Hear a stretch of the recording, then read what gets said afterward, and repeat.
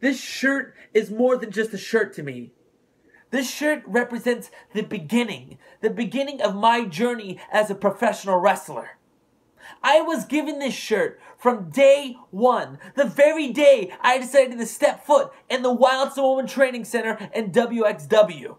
With this shirt came an opportunity, an opportunity to be brained, made fame of, and trained by Afa the Wild Samoan himself, Pops.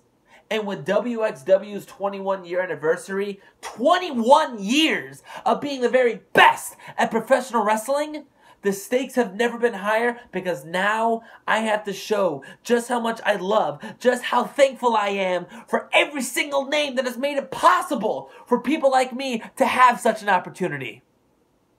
If you thought the stakes were raised before, just wait because the son of a warrior, Nate Fury, is ready to show just how much he loves professional wrestling, just how much I love WXW.